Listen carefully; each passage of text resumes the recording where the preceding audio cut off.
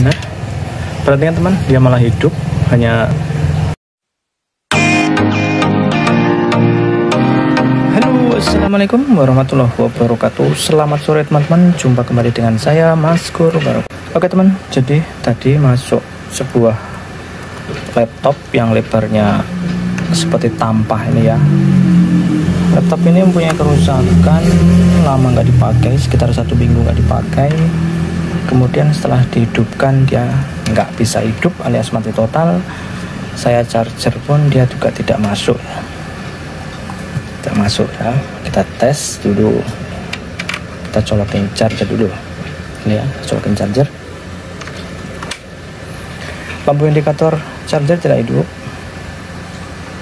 Dan dihidupkan pun dia tidak hidup teman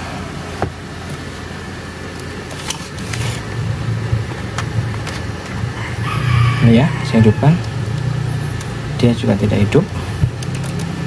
Ini ada kemungkinan jadi selama dimatikan satu minggu itu oh, baterainya terlalu kosong ya. Jadi begitu dicas uh, dia tidak masuk. Karena ada sebagian laptop yang jika baterai terlalu kosong uh, kemudian dicas lagi tidak bisa masuk ya. Harus paling tidak disuntik tegangan dulu teman-teman. Oke oleh karena itu berhubung di sini tidak ada lubang colokan untuk mereset baterai ya. Jadi ini harus bongkar total. Setelah itu saya coba untuk copot baterai kemudian pasang lagi baru nanti dicas. Apakah dia bisa atau tidak. Oke teman. Ikutin video ini sampai selesai jangan lupa like, comment, dan subscribe nya jika nanti video ini ada manfaatnya. Saatnya kita buka okay. si tampah ini ya. Bismillahirrahmanirrahim. Saatnya kita buka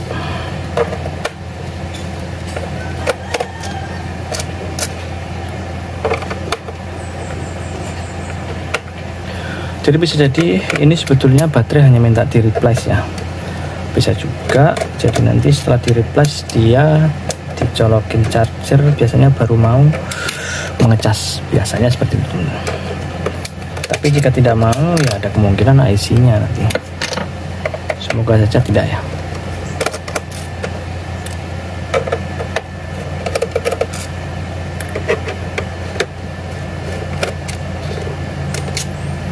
sama sekali belum pernah bongkar masih bersegel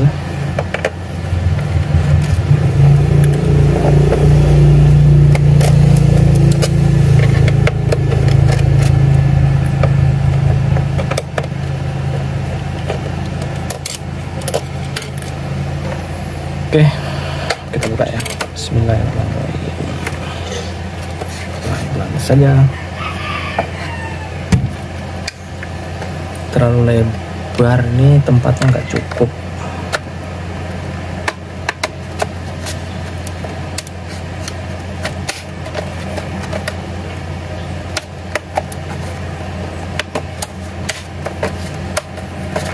Saya menggunakan ini ya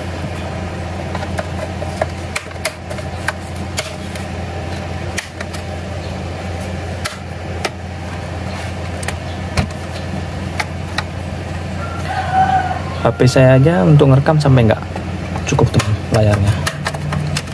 Karena terlalu lebarnya ini ya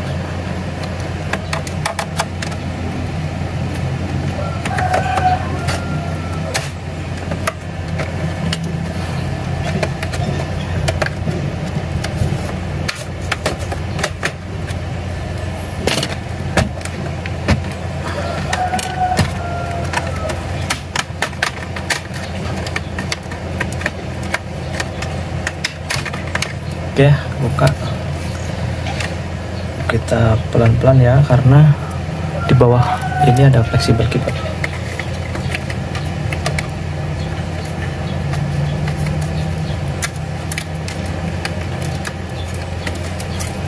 oke terbuka.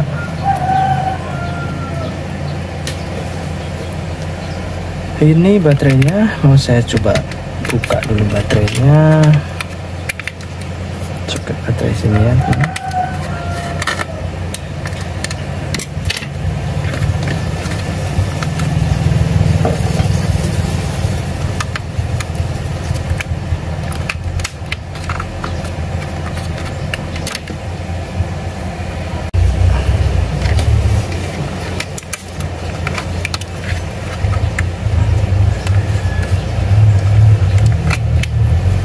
baterai posisi di bawah motherboard ya.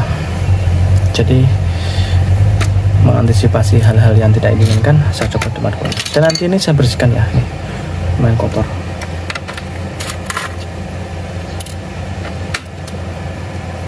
Jadi daripada kesulitan mencopot baterai bagus saya copot dulu motherboardnya. Saya angkat sedikit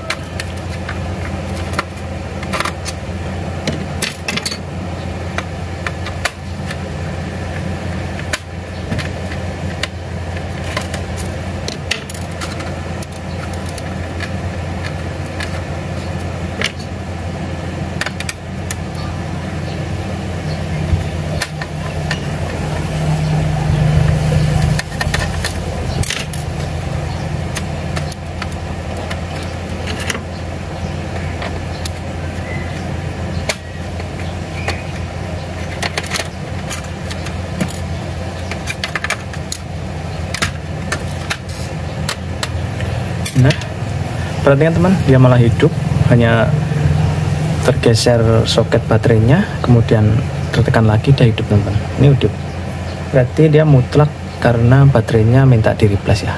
Oke berhubung sampai di sini dia sudah hidup saya rasa servis laptop yang mati total ini cukup sampai di sini ya. Ini tinggal saya bersihkan saja setelah itu oke. Terima kasih. Assalamualaikum warahmatullahi wabarakatuh